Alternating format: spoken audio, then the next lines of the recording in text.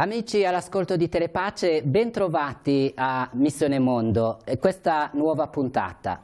Siamo con degli ospiti che, anzi, lascio la parola a loro stessi che si presentino e cominciamo qui davanti a me. Buongiorno, sono Roberta da Santa Margherita Ligure. Io sono Elena da Rapallo. Io sono Francesco da Rapallo. Bene. Io sono Marco, Marco da Chiavari. Francesca da Moneglia. Marco da Rapallo. Ecco, mi chiederete che cosa li unisce. Loro, appunto, sono tanti, oggi abbiamo anche tanti ospiti. Loro sono uniti da un viaggio che hanno svolto e che li ha visto appunto coinvolti nei mesi scorsi in un paese che ormai per noi è amico, conosciuto, conosciutissimo anzi, cioè il Cuba. Siete stati a Cuba in un viaggio appunto ci direte come è nato, che cosa, però per noi è molto importante, tengo a, a precisare e a ricordare, perché Cuba è questo paese che da tanti, da tanti anni ormai siamo collegati soprattutto con la diocesi di Chiavari, di Genova e di Savona, perché abbiamo delle missioni lì e, e quindi una delle cose che li unisce è anche questo. Allora partiamo un po', io dico sempre che il viaggio comincia in realtà molto prima che si parte anzi a volte sono anche anni e anni che uno sogna un viaggio. Allora volevo chiedere a Marco dietro se ci può dire quali sono state le motivazioni di partenza, ecco, perché de hai deciso proprio di fare questo viaggio? Ma diciamo che mh, non l'ho chiesto subito io, mi è stata fatta l'offerta a aprile circa prima di partire perché siamo andati ad agosto dell'anno scorso mi è stata fatta questa offerta e subito sono rimasto un po' senza, senza parole, non me l'aspettavo. Però un po' per, per l'avventura, per il viaggio in un posto così distante e un po' per conoscere un mondo nuovo, con una, un contesto sociale nuovo, anche un modo diverso secondo me come poi avrò, vedrò, di vivere la fede mi ha, mi ha, spinto un po' a partire. Ecco, ecco la curiosità spesso curiosità. è quello che anche un po' spinge le persone a partire. E a me mi ricordo sempre, mi ricordo sempre che la curiosità si dice in francese che è la mère de, de la science, la curiosité c'est la mère de la science, cioè la curiosità è proprio la, quello che è il motore della conoscenza e della ricerca. E questo è molto bello veramente. Ed è importante, lo dico sempre, chi ci ascolta, è importante coltivare questo spirito di curiosità, di non quella forma negativa, ma proprio per conoscere. E quindi davvero grazie anche per questo, perché è importante eh, suscitare questa eh, curiosità dentro di noi. E qua accanto a te c'è anche la Francesca, non so se eh, vuol dirci qualcosa sulle motivazioni di partenza. Le motivazioni di partenza sono molte, tra cui appunto anche la, la curiosità, il desiderio di conoscere, visitare eh, posti nuovi. Ma eh, in questo caso per il viaggio di Cuba la motivazione è un'altra, un po' più profonda, perché rientra in un progetto un po' più diciamo, grande, un po' più esteso. Innanzitutto non sono partita da sola, ma sono partita con Marco e mm, dopo aver fatto un'esperienza l'anno prima molto grande, quale il Cammino di Santiago, eh, insieme. E, mm, e l'idea appunto di, di, Cuba è nata proprio sulla scia del, del, cammino, sulla scia di questa prima grande esperienza.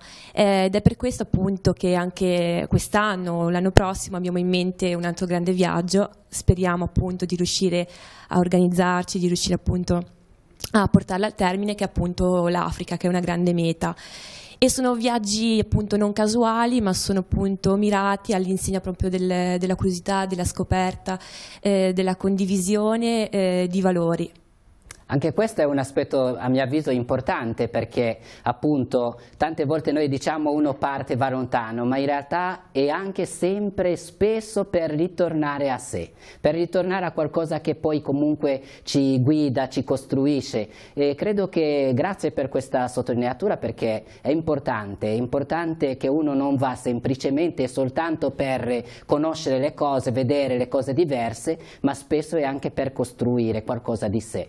E, ecco, qui davanti a me c'è Francesco anche.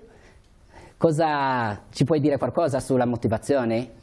Ma ehm, sì, diciamo che tutto, tutto, è iniziato da una, da una chiamata, diciamo, no? Quindi c'è stato qualcuno che è stato Don Claudio ehm, che ci ha proposto di fare questa esperienza che anche per me eh, era stata non, non pensata, non programmata. E quindi eh, il partire è stato motivato un po' dal voler in qualche modo buttarsi in un'esperienza nuova in cui ehm, tu sei stato coinvolto e anche col desiderio di eh, andare per trovare qualcosa e questa cosa eh, L'ho trovata, posso dire, negli incontri con la gente, nel lavoro con i bambini, nell'incontro con una uh, fede che veniva celebrata, vissuta, anche in un modo uh, un, un, po' diverso rispetto al mio, quindi eh, l'incontro con una fede gioiosa, entusiasta, no? e questa è stata un po' una ricarica eh, personale ma anche di noi, perché la cosa bella di questo viaggio è anche che non eravamo soli, ma eravamo insieme a, a vivere questa esperienza. Ritorneremo su questi aspetti, soprattutto appunto della fede, ma intanto volevo chiedere alla nostra eh, amica appunto Francesca, eh, scusate eh, Roberta, volevo chiedere come, che impatto le ha fatto proprio arrivare lì in, un, in una realtà immagino molto diversa da quella che lei è abituata qui. A Cuba c'è la semplicità del vivere, non, non ci sono eh, troppe sovrastrutture eh, e quindi la gente davvero apprezza quello che ha, soprattutto quando non lo ha ovviamente. Quando arrivano le uova, per esempio, al negozio, vedi... Eh, e nonostante tutte queste difficoltà eh, c'è una grande gioia di vivere, un'adesione un alla vita così come si presenta che forse noi abbiamo un po' perso. E questo è una, un aspetto della vita dei cubani che è davvero affascinante per noi, che siamo molto più viziati e, ehm, e non andiamo oh, tante volte oltre eh, tutto ciò che eh, possediamo, non riusciamo ad apprezzare quello che invece ci viene dato così, eh, gratuitamente. E ehm. credo che questo sia davvero educativo anche per una persona come me, che insomma eh, di cose ne ha viste e anni ne ha, ecco, e quindi magari non ho più eh, i sentimenti di, eh, così, ehm, eh, di sorpresa che hanno questi giovani. Eppure pure il cuore, davvero, il cuore non è per citare quell'altro che diceva che il cuore ha delle ragioni che la ragione stessa non comprende. Io penso che similmente il cuore veramente non smette mai di stupirsi di fronte alle cose belle no. e questo credo no. che eh, lei ne questo, è testimone questo, questa è la giovinezza del cuore è veramente così è ecco, veramente ecco, quindi così. anche chi, chi, ha una certa età no, deve alla andare alla fine tutti abbiamo una certa età e deve sapere che questa è un'esperienza che è veramente per tutti e fa bene a tutti assolutamente ecco. anzi le mie compagne eh, c'è Anna che era che è un pochino più anziana di me, Barbara che è un pochino più giovane e poi c'era anche Don Valerio di Santa Margherita della parrocchia di San Siro, ma eh, eravamo davvero tutti eh, pieni d'entusiasmo pieni di entusiasmo. Ecco, quando sono i cuori che parlano, che si ascoltano, che guardano, davvero le cose stupiscono sempre e sono sempre belle. Ecco, accanto a lei c'è eh, Elena. Elena, eh, ecco, l'impatto iniziale era la prima volta che anche tu andavi. L'impatto... Um... Cioè, diciamo che la cosa che mi ha stupito il primo giorno, quando poi ci siamo svegliati, è come se fossimo lì già da tanto tempo. Cioè, come se quei passaggi, quei, quei volti li avessimo visti già più di una volta e non fosse prima. Forse sarà appunto anche il modo in cui ci hanno accolto, ci hanno accolto come, come se ci avessero sempre conosciuto, come se fossi stata una loro compagna di classe che non vedevano da tempo. E questo è stato bellissimo. L'impatto sicuramente quando noi abbiamo tutto, come diceva appunto lei, noi abbiamo tutto e a volte ci stupisce quando gli altri non ce l'hanno. Cioè, la banalità magari di un cellulare piuttosto che un televisore, eh, che per noi è la cosa normalissima averlo in casa, invece lì magari non è così scontato. E, però nonostante questo, quanta gioia ho visto nei, nei loro volti. Cioè, ho visto tanta povertà a Cuba, tanta, tanta quanta era la gioia ne, nelle persone. Questo è, è fantastico. Magari noi ci lamentiamo per cose banali che invece per loro sono, sono assolutamente inutili, cioè se ancora più banali di quello che noi ci lamentiamo. E, ehm, non so se puoi dire qualcosa anche di più preciso, un pochettino, quali sono state le povertà soprattutto che veramente hai notato che ti hanno un po' colpito maggiormente perché eh, dici appunto è molto povero e io so che è una povertà che come dicevi alla fine ti svela anche una certa ricchezza. Ecco, quali sono, eh, eh, descrivendo un pochino il Cuba così tua, da tua, dal tuo punto di vista? Beh, le povertà sicuramente le case, le, le abitazioni, eh, abbiamo visto del, delle abitazioni che non so neanche se potremmo chiamarle così, cioè magari dove i tetti erano completamente sfondati o dove non, non c'era neanche una porta piuttosto che e, e questo cioè, per noi che magari invece siamo abituati a avere la nostra casa, il nostro letto comodo, e, insomma questo è stato un impatto abbastanza Ecco, quindi avete dovuto anche un pochino fare i conti con queste, con queste realtà. Eppure, eppure, lo chiedo a Marco dietro, e, eppure case semplici ma carlose, case, eh, come dire, accoglienti, vero? Sì, assolutamente. E durante il periodo in cui siamo stati a Cuba con, con, Francesca, Don Paolo e Don Michele ci hanno accompagnato spesso durante i loro viaggi, durante i loro incontri all'interno della parrocchia e spesso entravamo nelle case, venivamo accolti in modo molto caloroso, accogliente. Eh, persone, per le persone era una grande gioia eh, che noi fossimo lì. E una cosa che mi ha colpito molto è per esempio la presenza delle sedie all'interno della casa. Molto spesso all'interno della casa eh, vi era una, due, due sedie e quelle sedie venivano destinate a noi e se noi non ci sedevamo, eh, le persone rimanevano male. Noi magari per cortesia dicevamo sedetevi voi, perché magari erano persone anziane, e loro invece volevano assolutamente che eh, ci sedessimo noi. Questo mi ha colpito molto, c'è un grande rispetto per gli ospiti e una grande gioia, una grande accoglienza. Eh, quindi nonostante la povertà, la gioia dell'incontro per loro è, è fondamentale. Ecco, questo è molto importante nei paesi poveri, davvero quando io, il, ehm, il, mio è un paese, uno dei paesi più poveri del mondo. E lo so che a volte a casa si tiene qualcosa per dire questo è per l'ospite, perché come si dice quasi in tutte le culture, l'ospite è veramente sacro. E l'ospite... È, è un dono di Dio e questo è molto importante e si vede che anche nelle povertà, anche nelle povertà materiali, i valori umani spesso rimangono ed è molto importante questo. E credo che forse è per questo che il viaggio allora diventa anche significativo, perché quella povertà ti fa riscoprire anche delle cose, degli aspetti che a volte si rischierebbe di dimenticare. Ecco, accanto a te c'è Francesca, anche su questo aspetto che vi vedo tutto un po' che quasi quasi volete dire qualcosa, ma perché sicuramente è una cosa che vi ha colpito questo aspetto anche della povertà, l'aspetto sociale, di come quello che pensiamo appunto un ostacolo poi diventa anche qualcosa che arricchisce. C'è qualcosa di questi aspetti della povertà che ti sei portato dietro come, come qualcosa anche che ti arricchisce nella tua vita? Eh, sì, innanzitutto eh, forse quello che per noi è povertà, per loro è semplicità, per loro è quotidianità.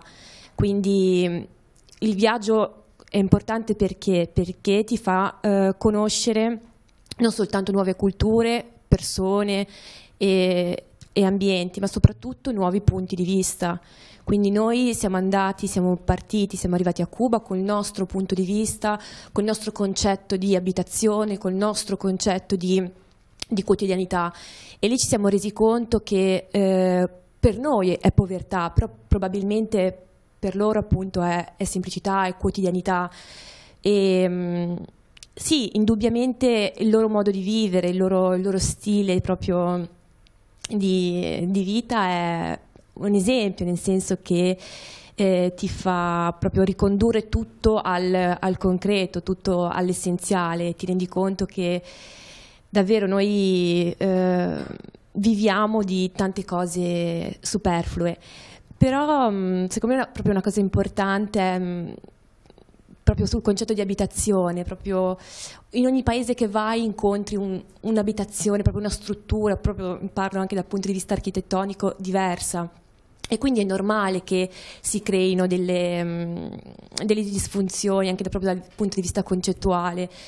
E, mh, quindi ho capito proprio quanto è importante appunto viaggiare, proprio importante conoscere per eh, ampliare i propri punti di vista perché proprio c'è cioè, proprio concetti diversi di casa, abitazione, capanna, e io, così via. Io credo che questo per dire l'importanza di quello che ci restituisce, perché vedere la realtà, vedere il mondo solo da una prospettiva, io credo che è una delle grandi povertà che a volte abbiamo eh, nella vita, perché e poi rischiamo anche di assolutizzare il nostro punto di vista senza sapere che la realtà davvero si può guardare in tanti modi, in tanti punti di vista e tutti non fanno che contribuire per vedere meglio la realtà. E quindi grazie per questo.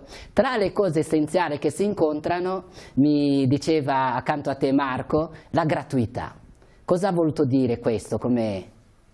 Sì, a me ha colpito molto la gratuità perché noi entravamo in queste case nei, nei nostri giri quotidiani, nelle, nelle varie periferie dei paesini e, ti accoglievano pienamente, facevano il massimo per farti sentire a posto a casa tua, eh, appunto come diceva prima Francesco ti lasciavano tutte le sedie, eh, proprio il massimo dell'accoglienza tra, tra le varie persone anche, dove c'era anche una povertà secondo me che gli altri non hanno detto, secondo me anche, anche una povertà più sociale secondo me, perché molto spesso si vedevano delle famiglie dove il, il, padre ad esempio non, non, c'era o chissà dove andava per la giornata quindi spesso si vedevano madri molto giovani con, eh, con, con bambini, bambine con tanti bambini a volte con tanti bambini so. però c'era una forte solidarietà anche con i vicini di casa mh, mm, si aiutavano si sì, magari da noi le riunioni condominiali sono un po' più caotiche, invece lì sono,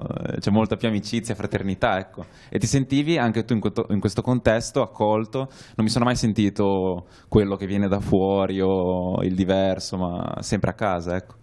Ecco, avete incontrato l'abbiate già eh, nominato, da, lì ci sono alcuni sacerdoti della nostra, della nostra diocesi e avete conosciuto e incontrato Don Paolo e poi c'è anche un sacerdote di Genova, c'è un altro di Savona. Ecco, facciamo un passo avanti, entriamo dentro la realtà anche spirituale, pastorale, ecco, dal punto di vista, chiedo a Francesco, dal punto di vista della fede, ecco, eh, che realtà avete trovato?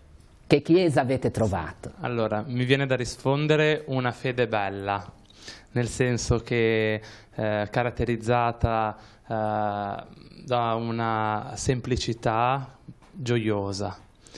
Il lavoro che fanno i nostri sacerdoti, quando ci siamo stati noi, eh, eravamo con Don Federico Tavella, che si trovava a poter eh, servire in quelle terre durante il periodo estivo, e c'era Don Michele che è il mh, mm, parroco eh, proveniente dalla diocesi di, di Savona. Savona.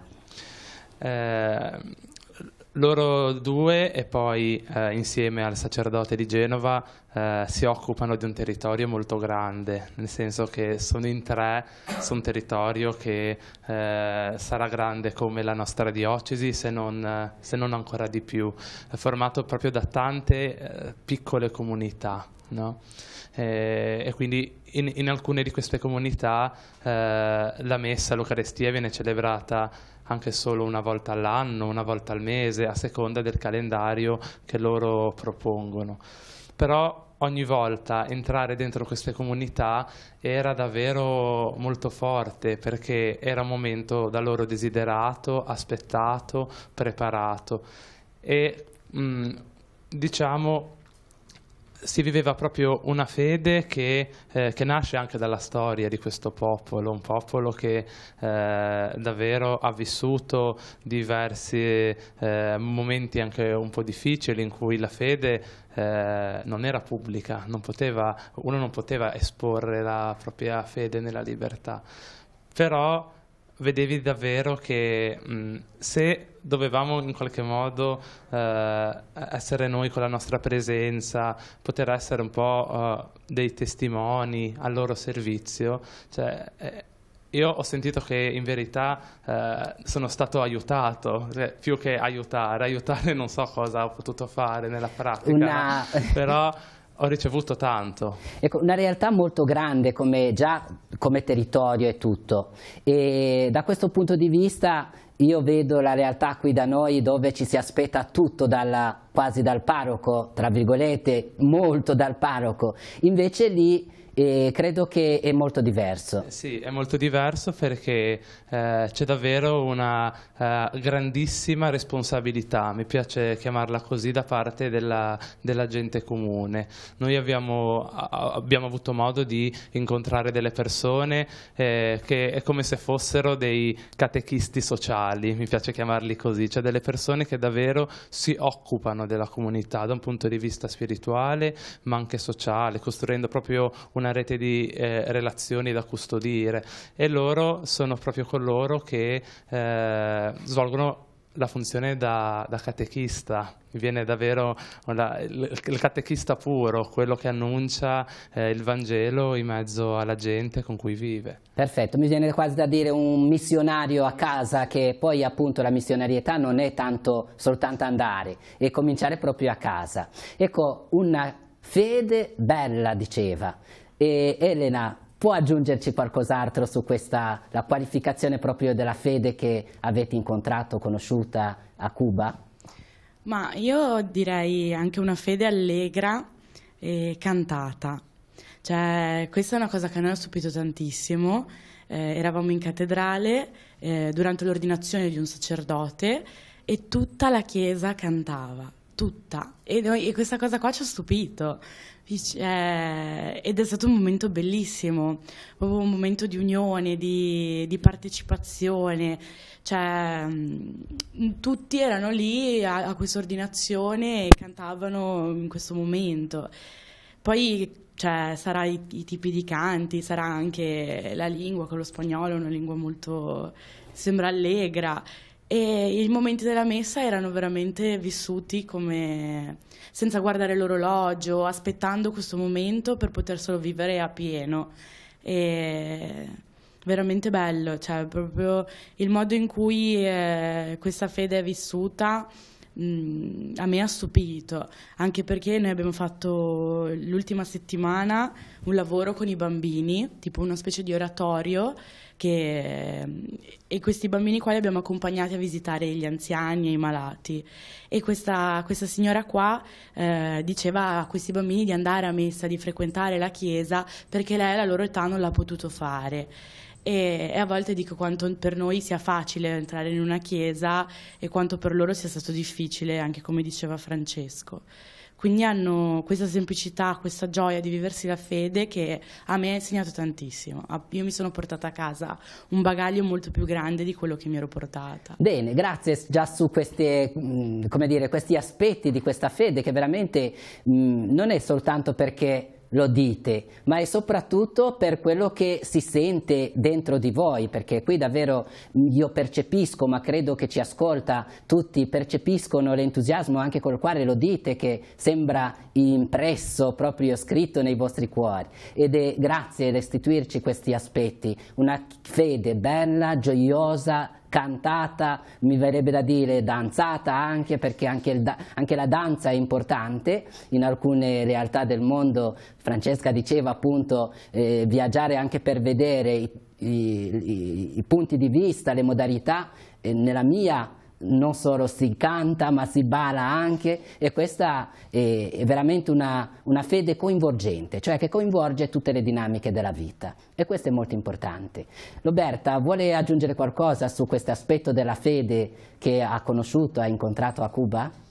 Sì, è una fede fresca, anche lì, come la vita, eh, più semplice, senza troppe sovrastrutture, è una fede che aderisce ad un'esigenza eh, del cuore, eh, dell'animo proprio.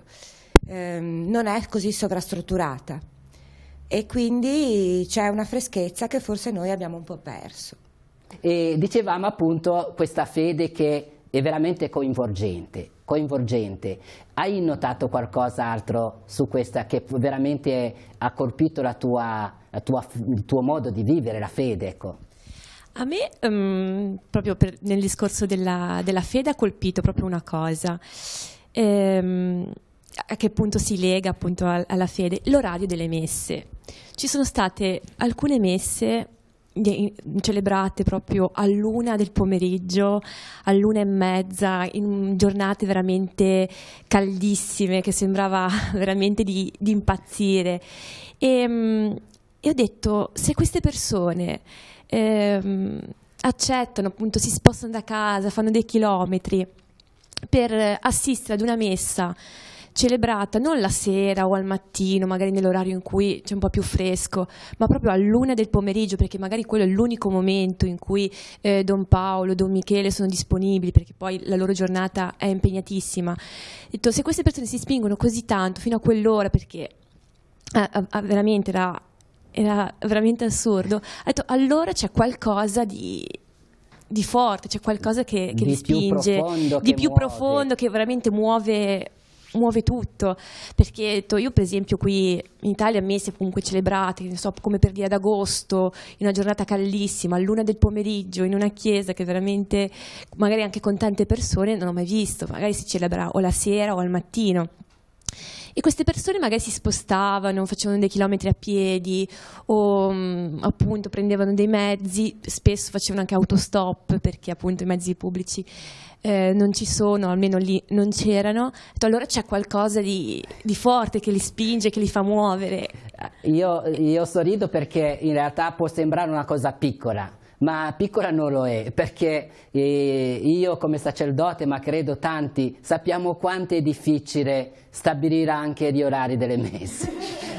Pur avendo anche poche messe e a volte poche comunità, ecco che quella delle 7 è troppo presto, 8 è troppo presto, e alle 10 e mezzo, 11 è troppo presto, è troppo tardi chi deve poi mangiare a mezzogiorno. E quindi questa può sembrare ovvio e scontato, ma non lo è. Non lo è proprio ed è molto importante perché soprattutto, come dicevi, dice proprio eh, che cosa c'è in gioco, che cosa è importante, che al di là dell'orario queste persone gioiscono nella possibilità di poter anche a luna celebrare la messa e quindi davvero celebrare e la, la, la, vivere la loro fede anche in questo modo. Quindi grazie anche per questa piccola sottolineatura perché dico tra virgolette piccola ma grande. Grande perché mi chiedo appunto anch'io se nelle mie parrocchie metteste la messa a, a, a luna eh, cosa, cosa succederebbe. Quindi grazie per questo aspetto. Ecco, abbiamo già sottolineato tantissime cose dal punto di vista appunto di questa eh, modalità di vedere e di vivere la fede, ma dal punto di vista, torniamo un pochettino proprio su di voi, ecco, in generale, perché poi magari quando vi faccio le domande io un po' vi disoriento. Ecco, in una parola, in una parola Marco, davvero, eh, questo viaggio che cosa ha significato per te, insieme, ecco? Questo viaggio mi ha donato degli occhi nuovi, uno sguardo nuovo che porto nella mia quotidianità. Io credo che sia importante quando si intraprendono dei viaggi di questo tipo, quando si vivono esperienze di questo tipo, eh, portare nella propria quotidianità, nel proprio mondo, nella propria giornata, eh, quello che si è imparato. Eh, ed è uno sguardo nuovo il mio, uno sguardo che eh, ha perso il superfluo, che guarda alla vera gioia dell'incontro con le altre persone, e che è quello che ti insegna il popolo, il popolo cubano. Grazie. Io normalmente appunto verso la conclusione non mi piace commentare quello che veramente custodite come la cosa più bella è che appunto nella generosità, nella gratuità fate dono agli altri. La stessa domanda a chi vuole rispondere veramente che cosa si porta dietro da questo viaggio, così ci avviamo verso la conclusione ma lasciando questo dono grande. Ecco eh, Roberta. La conferma eh, della bellezza che esiste ancora in questo mondo, che esiste nelle persone e, e noi che siamo una società un po' senza speranza al momento, dovremmo davvero guardare fuori di noi per ritrovare questa speranza e questa bellezza. Questo è quello che sento di condividere. Ma io mi, mi sono portata a casa dei volti, volti che non dimenticherò mai, che, mi, che porterò nel mio cuore e volti allegri, tristi, però persone che mi hanno lasciato tanto. Grazie. Francesco? Ma per me la parola è cambiamento, cambiamento nella speranza, perché ehm, sono tornato a, a Rapallo con eh, una serie di incontri, di relazioni, no? che eh, in qualche modo Mm, sento che eh, ha, ha, tolto via in me qualche parte magari che era forse un po' dura, forse che eh, aveva a che fare con un certo modo di vivere anche la fede, le relazioni, ecco. E, e, quindi è proprio davvero, è proprio vero il fatto che eh, viaggiare, conoscere, incontrare eh, può um, cambiare le persone e poi il viaggio in qualche modo non, eh, non è finito quando ho messo piede in Italia ma eh, sta proseguendo ancora insieme a me con eh, i ricordi e le immagini che ho. Grazie. Marco? A me mi sono tornato a casa con la parola gratuità perché in un mondo dove purtroppo spesso le cose sono mosse dal denaro oppure dal business, invece io ho vissuto tutto gratuitamente perché eh, creare relazioni, stringere nuove amicizie non costa nulla ed è quello che ho fatto io per tre settimane a Cuba. E poi mi viene in mente anche gratitudine, sempre per lo stesso motivo perché ho ricevuto più di quanto donato, sempre con, con gratuità, senza guardare altre, altre, un fine secondario, ma solo per, per l'amicizia e per il bene eh, fraterno dell'uno e dell'altro. Anche. Mi viene da, da salutarvi con le tue stesse parole. Grazie. Grazie davvero della vostra presenza, grazie per quello che ci avete condiviso. A me che appunto non sono andato ancora a Cuba e poi soprattutto non sono andato con voi, in qualche modo mi avete fatto fare un passo, un pezzo del vostro viaggio e mi verrebbe da sintetizzare quello che ho fatto e che faccio con voi in questo momento, la parola seme. Ecco, è stato un momento di semina ha lasciato un seme dentro di voi e vi auguriamo davvero che questo seme continui sempre a crescere, a crescere e a portare i suoi frutti. Quindi a tutti voi che ci ascoltate Vogliamo salutarvi appunto anche con voi, ringrazio Roberta, Elena, Francesco, Marco, Francesca e l'altro Marco. E arrivederci alla prossima magari con un racconto per un altro viaggio, come diceva la Francesca. E quindi io vi ringrazio per oggi, Missione Mondo termina qui, ci ritroviamo per la prossima volta, grazie, arrivederci.